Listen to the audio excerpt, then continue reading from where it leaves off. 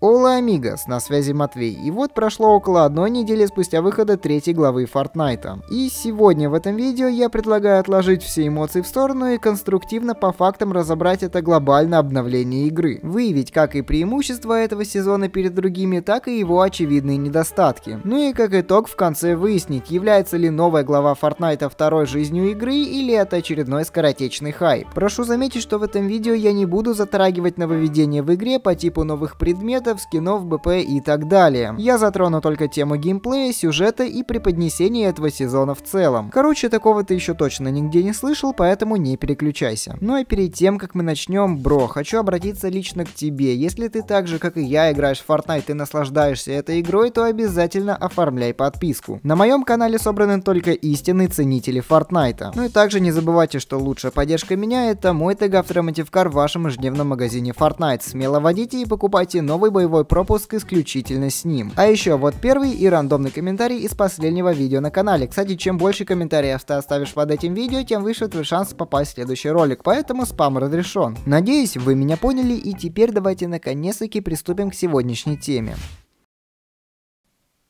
Начнем с очевидного плюса этой главы, а именно то, что она вышла максимально неожиданно. Если выход второй главы мы еще могли предугадать благодаря навязчивому названию 10 сезона, а именно Fortnite сезон X, то выход третьей главы вообще никто предугадать не мог, пока что эпики сами это не анонсировали. Поэтому эффект неожиданности сыграл главную роль в выходе третьей главы. Второй большой плюс, который я могу отметить в третьей главе Fortnite, это ее большая связка с предыдущей главой Fortnite. Понимаете, дело в том, что когда вышла вторая глава глава в Fortnite, то она никак абсолютно не была связана с первой. Ну то есть на ивенте тупо просто исчезла предыдущая карта и каким-то непонятным образом у нас появилась вторая, которая ни по сюжету вообще никак не связана с первой. Я и сейчас не особо вникаю в сюжет Fortnite, но основываясь на том, что я видел на ивенте, в принципе все логично. И возможно еще в следующих сезонах мы увидим какую-то связку с предыдущей главой. Третий плюс новой главы это конечно же то, что она вышла достаточно быстро. Нам пришлось ждать новую главу с момента ее анонса всего лишь одну ночь. А насколько вы должны помнить, то вторую главу мы ждали аж целых несколько дней. Ну и в принципе мы оценили все аспекты в качестве выхода третьей главы, где 4 из 4 оказались положительными моментами. И сейчас я предлагаю оценить обновленный геймплей и как он поменялся. В целом, как и вторая глава, третья тоже принесла нам много новых механик. Во второй главе это, например, была система плавания, а здесь это скольжение по гладким поверхностям. В принципе, я могу это назвать положительным моментом, так как он хоть как как-то разнообразит игру. Лично мне за три года игры Fortnite уже немного надоела система строительства в игре. И мне бы хотелось какого-то разнообразия в игре, чтобы для того, чтобы тебе выиграть, тебе не приходилось ни строиться, ни редактировать. И в этом сезоне это частично осуществили. Но в принципе я не понимаю, что мешает Epic Games сделать такие нововведения в геймплее каждый сезон. Поэтому в этом моменте я однозначно ставлю плюс за то, что хоть что-то добавили, и минус за то, что добавляют так мало. Второй момент это игровая карта. Изменение игровой карты, я думаю, самое главное изменение, которое влияет абсолютно на все аспекты игры. Например, могу поставить однозначно плюс за то, что сделали такой интерактивный. То есть, например, в каждой локации есть много точек, с которыми ты можешь взаимодействовать при борьбе с противником. Да и вообще большое разнообразие ландшафта. Очень рад, что у нас теперь так же, как и в первой главе, есть хорошее разнообразие биомов. Во второй главе было все максимально примитивно, то есть были горы и равнины. Все, на этом больше биомов там не было. А здесь тебе и горы, и равнины, равнины, и пустыни, и моря, и реки, и даже пока что еще есть и зимний биом. Не знаю, как для вас, но лично для меня разнообразие строения карты в игре играет очень важную роль. То же самое могу сказать и про локации. Потому что добавили как и много новых локаций, которые очень крутые, так и вернули много старых легендарных локаций. Очень хорошо, что таким образом Epic Games как и двигаются вперед к новому, так и не забывает про хорошее старое. Лично мне, как достаточно алдовому игроку Fortnite, очень приятно вновь на карте видеть брошенные башни. Уверен, вам тоже. Второй аспект в новой главе, который достоин нашего внимания, это, конечно же, обновленный список оружия. Вот я уверен, что за две главы уже всем надоели стандартное оружие. Как бы да, насколько вы должны помнить, то в 16 сезоне Epic Games уже пытались обновить список оружия, но успехом это особо не обвенчалось. Дело в том, что нам в игре нужны новые нормальные пушки, которые имеют свои аналоги в реальной жизни. И именно это эпики и реализовали в третьей главе. Появилось много новых пушек, за которых чисто эстетически эстетически приятно играть. Особенно новый автомат с коллиматорным прицелом, с которым можно играть от первого лица. Вот я не понимаю, почему так нельзя было сделать с самого начала. Ведь игроки вовсе не требуют геймплей Fortnite от первого лица. Достаточно хотя бы просто, кроме снайперских финтовок, сделать такие оружия, с помощью которых можно было прицеливаться от первого лица. И в этом плане новая глава однозначно получает огромный плюс. Я бы затронул еще один такой момент в игре, как погодные условия, которые теперь будут появляться периодически на карте. Более того, они будут являться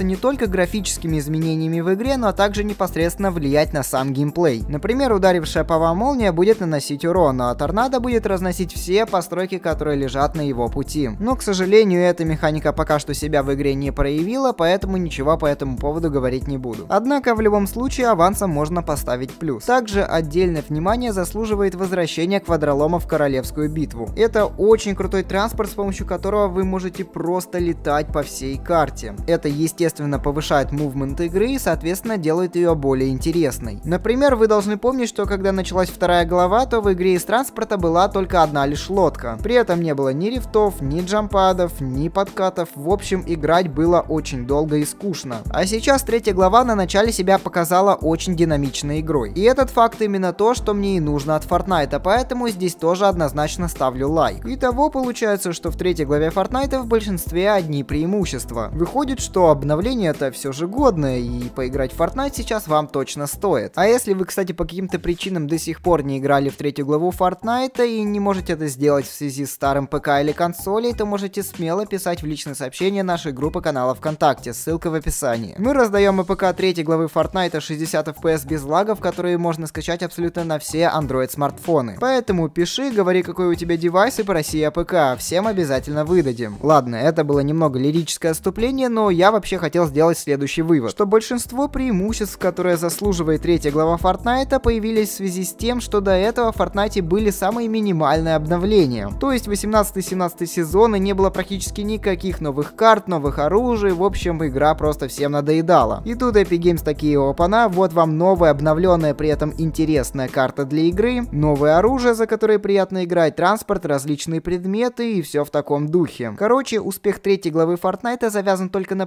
предыдущих неудачах этой игры. Поэтому искренне надеюсь, что Epic Games продолжит работать в таком духе и в третьей главе нас не будут ждать такие же застои, как и во второй. Надеюсь, вы меня поняли. Ну и на этом у меня пока что для вас это все. Огромное спасибо за просмотр и если это видео было тебе интересно, то обязательно ставь лайк для его продвижения. Пиши в комментариях, какие признаки третьей главы Fortnite зацепили именно тебя. Было бы интересно об этом узнать. Может я сказал в этом видео что-то не так или забыл что-то добавить, не знаю. Но также если именно ты хочешь халявный лайк лично от меня, то обязательно в комментариях пиши слово глава. Только так я смогу понять, что ты досмотрел это видео до конца, ну и конечно же все подобные комментарии я обязательно лайкну. Ну и в скором времени ждите новое видео на канале про третью главу Fortnite именно на телефоне. Уверен, вам зайдет. Ну и по традиции с вами как всегда был Матвей, а luego.